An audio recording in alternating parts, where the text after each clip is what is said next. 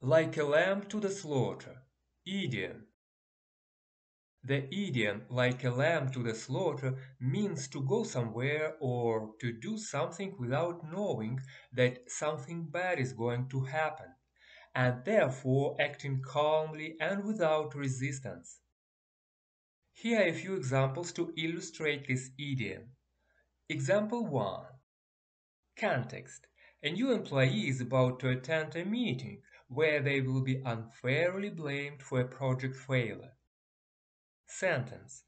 Unaware of the blame awaiting him, John walked into the meeting like a lamb to the slaughter.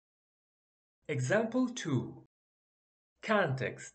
A character in a novel is about to enter a dangerous situation without realizing the risks. Sentence. She followed the stranger into the dark alley like a lamb to the slaughter, oblivious to the danger lurking ahead. Oblivious means you do not know about something. Lurking means something hidden. So this idiom often gives a feeling that something bad might happen and shows how a person seems calm but is actually in danger without knowing it. Please subscribe to learn more about idioms and phrases in English. Thank you. Bye.